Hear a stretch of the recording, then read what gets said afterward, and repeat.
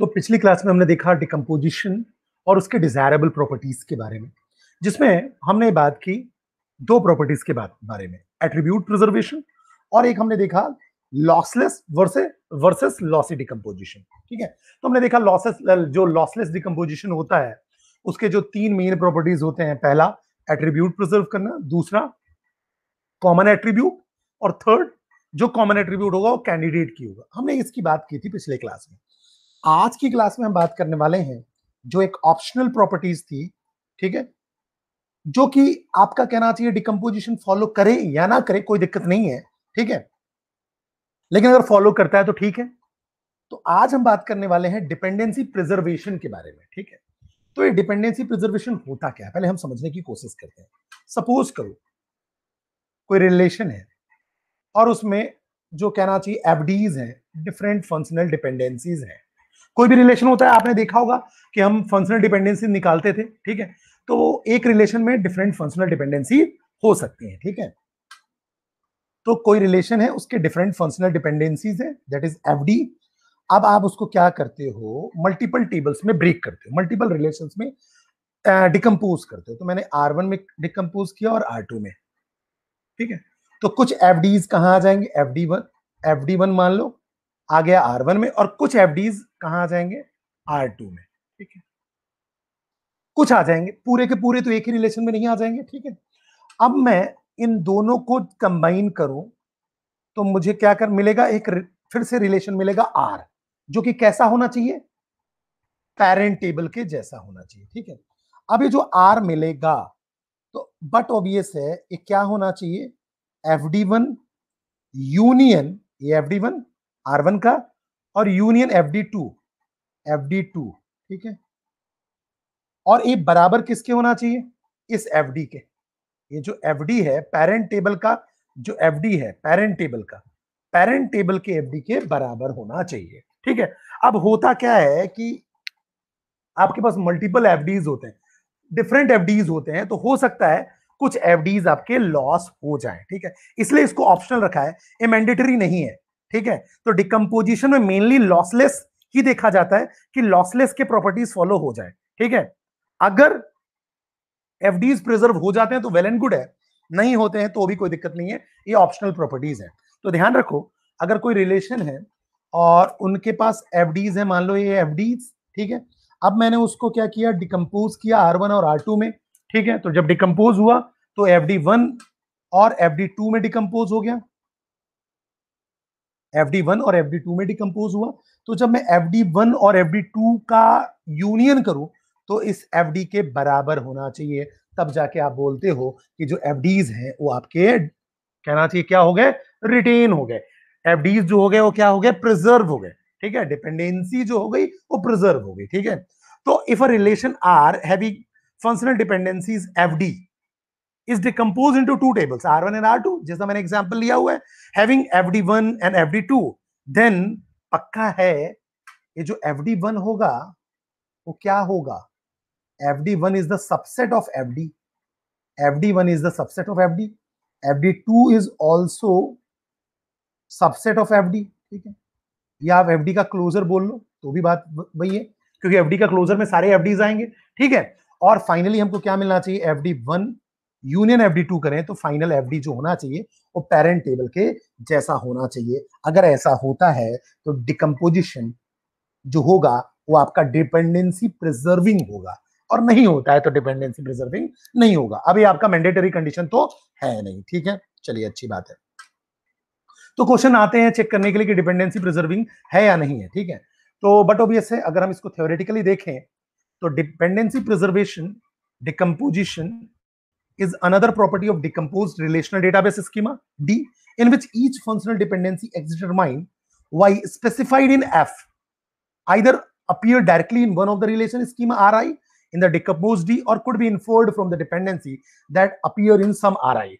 अब इसका कहने का मतलब ये है कि सिंपल सी बात है जो भी डिपेंडेंसीज थी मेन टेबल में वो या तो डायरेक्टली मिल जाए आपको जो चाइल्ड टेबल्स हैं उसमें डायरेक्टली मिल जाए या इन्फोर्ड हो जाए किसी ना किसी से इन्फोर्ड हो जाए, किसी ना किसी क्लोजर से इन्फोर्ड हो जाए तो भी वो डिपेंडेंसी प्रिजर्व हो जाएगी, ठीक है? जैसे आपने आर वन से लेकर आर एम तक डिकम्पोजिशन किया, ठीक है? तो R is set to be dependency preserving with respect to F if the union of the projection of F on each R I in D is equivalent to F मतलब इसमें पूरे के पूरे अगर हम एफ़ डी के union कर दें तो पूरा का पूरा एफ़ के बराबर होना चाहिए, उसके एफ़ डी के बराबर होना चाहिए, ठीक है? In other words the subset of join of R one R one over X The dependencies are preserved because each dependency in F represent a constraint on data, the database. Dependency preserve क्यों होना चाहिए? क्योंकि dependency क्या बताती है? Constants को बताती है। तो if decomposition in not dependency preserving some dependency is lost in the decomposition अगर डिपेंडेंसी प्रिजर्विंग नहीं होगा तो कुछ डिपेंडेंसी या कुछ कंस्टेंट लॉस हो जाएगा ठीक है? अब क्वेश्चन के थ्रू इसको हम समझने की कोशिश करते हैं। क्वेश्चन आपसे ऐसा दिया रहेगा, एक रिलेशन गिवन है एबीसी और आपको एफ़ गिवन होंगे। ये एफ़ गिवन है, देख लो। ये आपके एफ़ हैं A determine B B determine C C determine A अब आपसे बोला जाएगा कि अगर मैंने डिकम्पोजिशन दो पार्ट में किया आर वन और आर टू ऐसा R one A B R two B C अब से आपसे बोला जाएगा कि ये जो डिकम्पोजिशन है, ये आपका रिलेशन हुआ पहले देखो। एक एफ़ गिवन है एफ़ और ए आपका क्या है? ये आपका बता रहा है कि आपने डिकम्पोज किया। इसको दो पार्ट में, इस रिलेशन को दो पार्ट में डिकम्पोज किया ए बी और बी सी जब आपने ए बी और बी सी पार्ट में डिकम्पोज किया तो आपसे पूछा जाएगा ये डिकम्पोजिशन डिपेंडेंसी प्रिजर्विंग है या नहीं है। चेक करते हैं, ठीक है? तो चेक करने का तरीका देखो आर वन लिख लो आर वन ए बी और आर टू बी सी ये आपने लिख लिया आर टू बी सी दो रिलेशन है, ठीक है? इनको हम चेक करेंगे। सबसे पहले देखो क्या क्या डिपेंडेंसीज हो सकती हैं क्या क्या फंक्शनल डिपेंडेंसीज हो सकती हैं। तो ए खुद को डिटरमाइन करेगा, ये हो सकता है। बी बी को डिटरमाइन करेगा, ये भी ही तो है तो ए ए को डिटरमाइन करेगा बी बी को डिटरमाइन करेगा। अगली पॉसिबिलिटी ए बी को डिटरमाइन कर सकता है, और बी ए को डिटरमाइन कर सकता है। इतनी ही तो पॉसिबिलिटीज बन रही है, ठीक है। इसकी बात करो तो बी बी को डिटरमाइन करेगा और सी सी को डिटरमाइन करेगा। ठीक है? और सी क्या करेगा? सी को डिटरमाइन करेगा। चलिए, अच्छी बात है। उसके बाद अगर मैं बात करूँ बी बी को डिटरमाइन कर दिया और सी सी को डिटरमाइन कर दिया। ठीक है? उसके बाद अपन बोलेंगे तो क्या होगा? बी सी को डिटरमाइन कर कर सकता है। ठीक है? बी डिटरमाइन सी या सी डिटरमाइन बी ठीक है? अब इसमें देखो। जो ट्रीवियल डिपेंडेंसी होते हैं, जैसे ट्रीवियल डिपेंडेंसी मतलब जो खुद को डिटरमाइन करे, जैसे A determine A A B determine A ये सारे के सारे ट्रीवियल हैं। यहाँ भी ए है, यहाँ भी ए है। ये ट्रीवियल डिपेंडेंसी कहलाते हैं। याद करो, मैंने बताया था। तो ट्रीवियल डिपेंडेंसी जो खुद को डिटरमाइन करते हैं, उनको तो कंसीडर करने का मतलब ही नहीं है, ठीक है? तो ट्रीवियल वाले को हम कंसिडर नहीं करते हैं। इन दोनों को कंसिडर करने का मतलब नहीं है। केवल नॉन ट्रीवियल को कंसिडर करते हैं। तो A determine B B determine A हो गया। और बी डिटरमाइन सी और सी डिटरमाइन बी हो गया। चलिए अच्छी बात है। अब यहाँ देखो। अब हम एक एक को चेक करेंगे। एक एक को चेक करते हैं। तो देखो ए डिटरमाइन बी होल्ड हो रहा है क्या डायरेक्टली हो रहा है। अच्छी बात है। ए डिटरमाइन बी होल्ड हो रहा है। अब बी डिटरमाइन ए चेक करो। B determine A B determine A hold हो रहा है क्या? देखिए। कहीं से? बी डिटरमाइन ए होल्ड हो रहा है क्या? चेक करिए। बी डिटरमाइन ए आपका हो रहा है या नहीं हो रहा है, यहाँ से चेक करना पड़ेगा। अब अगर देखो डायरेक्टली हो रहा है क्या? पहले ए डिटरमाइन बी आपने देखा। तो ए डिटरमाइन बी आपको डायरेक्टली मिल गया, कोई दिक्कत नहीं है। अब आप बी डिटरमाइन ए को चेक करोगे तो बी डिटरमाइन ए डायरेक्ट नहीं मिल रहा है। अगर डायरेक्ट नहीं मिल रहा है तो कोई बात नहीं। आप क्या करो बी का क्लोजर निकालो। चलो, अच्छी बात है बी का आप क्लोजर निकालो। बी के क्लोजर में अगर ए आ जाए तो बट ऑब्वियसली डिटरमाइन हो जाएगा। इन एफ़ के थ्रू बी के क्लोजर में अगर ए डिटरमाइन हो जाए तो इन्फर्ड हो गया, क्योंकि मैंने आपको रूल क्या बताया? रूल ए बोलता है आइदर अपियर डायरेक्टली या तो डायरेक्टली आ जाए, या इन्फर्ड हो जाए। किसी ना किसी रूल से इन्फर्ड हो जाए। तो हम क्या करेंगे? मैंने पहले चेक किया बी डिटरमाइन ए हो रहा है क्या? तो यहाँ देखो डायरेक्टली तो नहीं हो रहा है एफ़ से तो मैं बी का क्लोजर निकालूँगा, अगर ए आ जाता है तो बट ऑब्वियस इन्फर्ड हो रहा है तो ये डिटरमाइन हो जाएगा। तो पहला तो ये इन्फर्ड हो गया ए डिटरमाइन बी हो गया। अब बी प्लस निकालूँगा तो बी तो आएगा ही आएगा।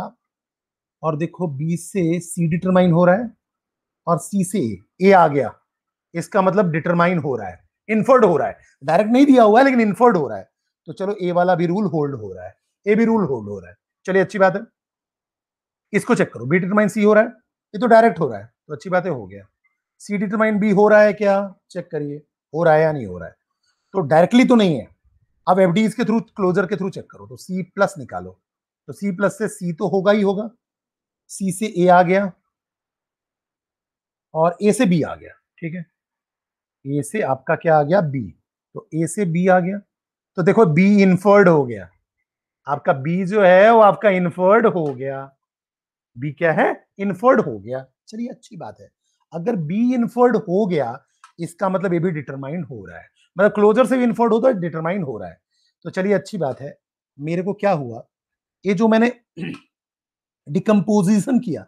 ये जो डिकम्पोजिशन गिवन थे, ये जो डिकम्पोजिशन थे, अब उससे एफ़ क्या क्या आई, आप लिख दो। तो मेरे पास आया ए डिटरमाइन बी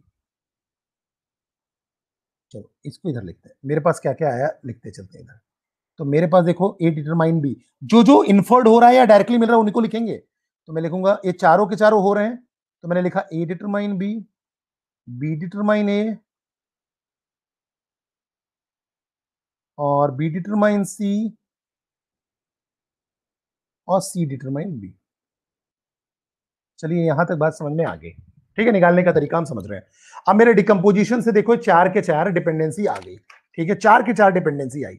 अब मैं क्या करूँगा? मैच करूँगा कि ये जो डिपेंडेंसी थी, ये पूरी डिपेंडेंसी प्रिजर्व हो रही कि नहीं हो रही? क्योंकि रिजल्टेंट में क्या आया?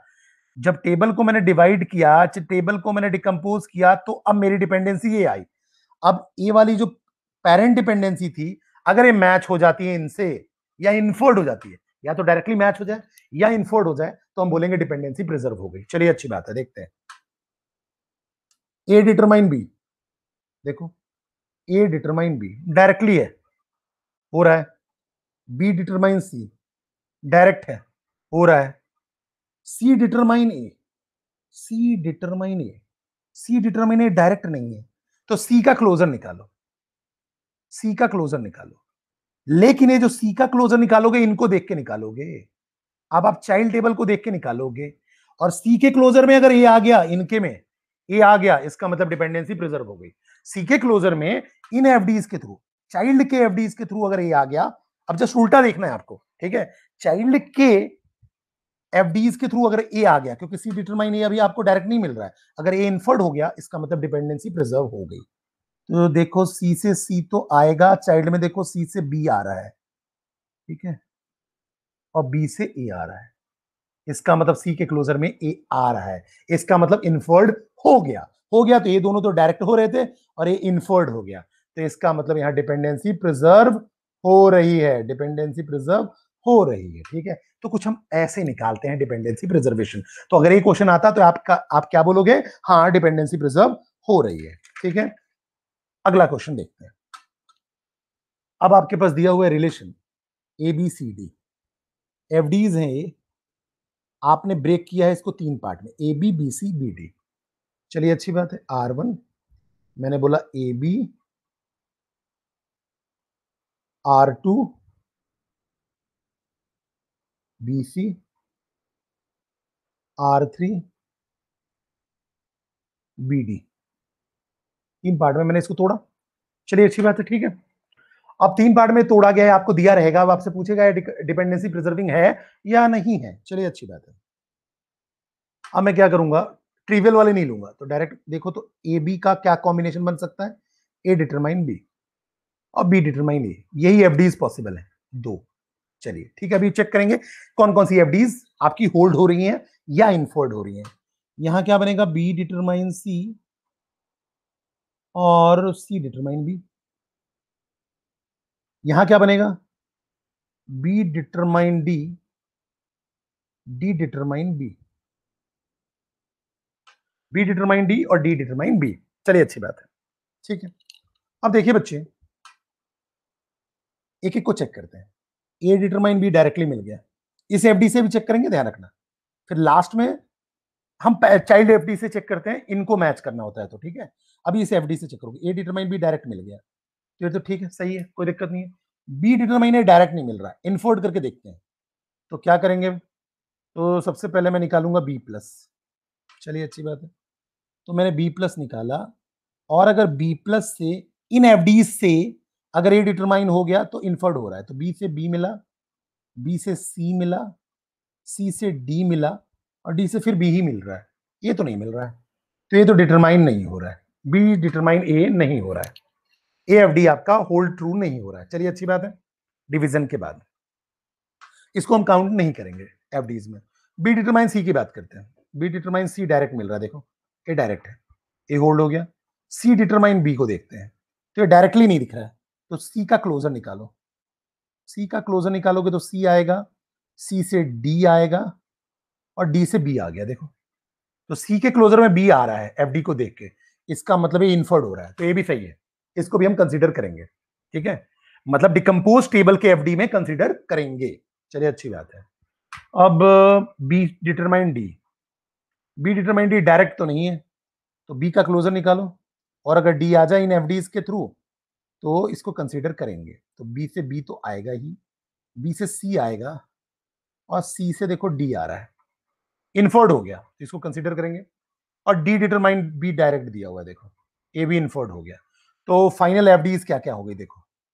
A determine B decompose table की फाइनल एफ़ की बात कर रहा हूँ। इसको तो कंसिडर नहीं करेंगे। फिर बी डिटरमाइन सी फिर सी डिटरमाइन बी